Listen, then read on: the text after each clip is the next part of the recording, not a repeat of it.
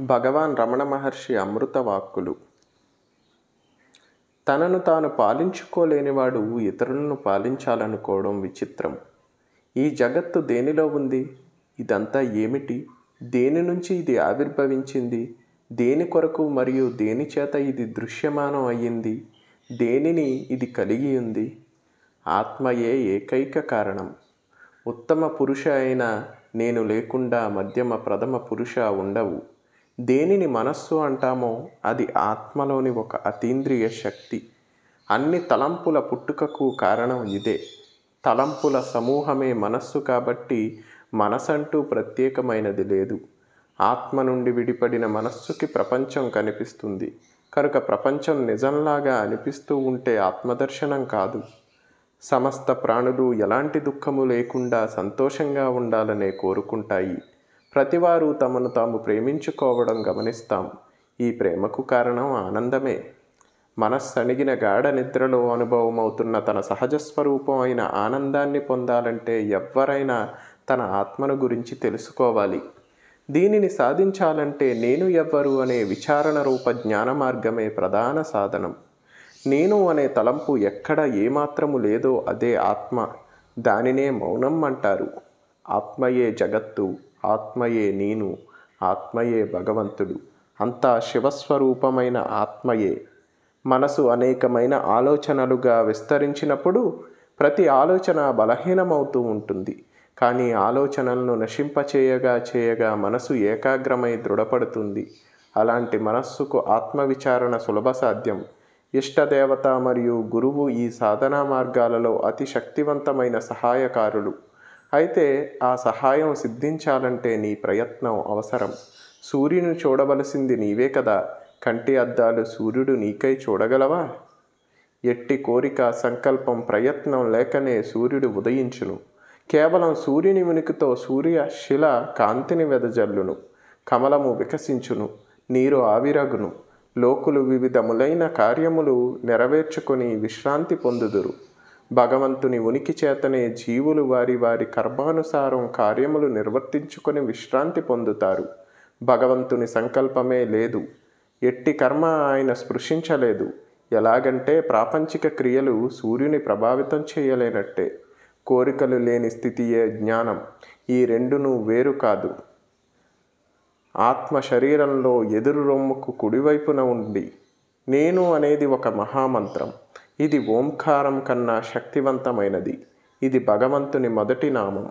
హృదయమే శక్తి కేంద్రం. హృదయం నుండి సహస్రారానికి అమృతనాడి ఉంది. ఇది అజ్ఞానిలో మూతపడి ఉంటుంది. జ్ఞానిలో తెరుచుకుని ఉంటుంది. ఇది తెరుచుకోవడమే జ్ఞానం. ఇది తెరుచుకోవడమే మోక్షం. ధ్యానం అంటే ఏమిటి? మనల్ని నిరంతరం వెంటాడే శతకోటి ఆలోచనల దృష్టి మరల్చి ఒక్క ఆలోచనపైనే దృష్టి పెట్టడమే ధ్యానం. ఇలా అభ్యాసం చేయగా చేయగా మనసుకు శక్తి కలుగుతుంది. రమణ మహర్షి చెప్పే ధ్యానంలో ప్రత్యే ప్రత్యేకత ఏమిటంటే ధ్యానించేవాడినే ధ్యానించాలి. అంటే ధ్యానించేవాడు ఎవరికి వారే. నేను కనుక ఆ నేనును పట్టుకోవాలి. ఆ నేను ఎక్కడుందో ఆ మూలాన్ని పట్టుకోవాలి.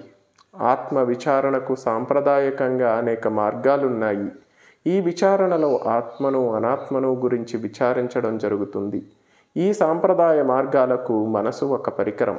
అసలు దోషి అయిన నేను ఈ విచారణలో భద్రంగా ఉండి ఎటూ తేలదు. రమణులు చెప్పిన విచారణ అయిన నేనెవరు ఇందుకు పూర్తిగా విభిన్నమైనది.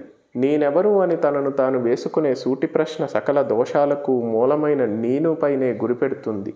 ఇక్కడ ఇక నేను తప్పించుకోవడానికి వీలు లేదు అంటే నేనెవరు అనేదే సూటి ప్రశ్న నేను పైనే నిలబడుతుంది. దాంతో ఇక్కడ అసలు దోషి నేను దొరికిపోతాడు. నేనెవరు అనే విచారణతో మనస్సు అణుగుతుంది. ఈ నేను అనే ఆలోచన మనసులో విచారించే ఇతర ఆలోచనల అన్నింటినీ అణగదొక్కి చివరకు మనసే తన ఉనికిని కూడా కోల్పోయి అణిగిపోతుంది. నేను అనే ఆలోచన అన్ని ఆలోచనలను నశింపచేసి తాను నశించును. నిజమైన నేను ఆది అంతం లేని అనంతసాగరం లాంటిది. ఈ అనంత సాగరంలో మాయా నేను నీటి బుడగలా ఏర్పడుతుంది. ఈ నీటి బుడగనే జీవుడు లేదా వ్యక్తిగత ఆత్మ అంటారు. నిజానికి ఈ బుడగకు కూడా నీరే నీరులో భాగమే. ఇది బద్దలైనప్పుడు పూర్ణసాగరంలో కలిసిపోతుంది. ఈ జీవుడు బుడగగా ఉన్నప్పుడు కూడా సాగరంలో ఒక భాగంగానే ఉన్నది. ఈ సరళ సత్యాన్ని విస్మరించి ఎన్నో సిద్ధాంతాలు రూపుదిద్దుకున్నాయి. ఆత్మజ్ఞాన అన్వేషికి నేనును విచారించుటే సూటి అయిన మార్గం. అన్నింటికీ కారణమైన నేను నువ్వు నేనుని విచారించకుండా మనసు బుద్ధి ఇంద్రియాలు పై మొదలైన వాటి గురించి ఆలోచిస్తే లాభం లేదు. నేను పోయిందా? నేనును ఆధారం చేసుకుని బ్రతుకుతున్న ఇవన్నీ ఎగిరిపోతాయి. నేను అనేది మహామంత్రం. నేను అనేది దేవుడి మొదటి పేరు. ఇది ఓంకారం కన్నా శక్తివంతమైనది. నేను అనే ఆలోచన పుట్టిన తర్వాతే క్షణం క్షణం మారే వేల కొద్దీ ఆలోచనలు పుడుతున్నాయి. ఇన్ని ఆలోచనలకు మూలమైన ఇన్ని ఆలోచనలను ఆలోచింపచేస్తున్న ఈ నేనెవరును నిరంతరం ఆలోచిస్తే ఆ నిజమైన నేను అనుభవం అవుతుంది నిద్రపోయే ముందు నిద్ర నుండి మేల్కొన్న వెంటనే నేనెవరు అని ప్రశ్నించుకోవాలి. ఈ రెండు సమయాల్లో అఖండ విశుద్ధ ప్రజ్ఞ ఒక్క త్రుటి కాలం పాటు ఉంటుంది. ఇవి ధ్యానానికి ఉత్తమ సమయాలు. మనస్సు అప్పుడు పరిశుద్ధంగా ఉంటుంది.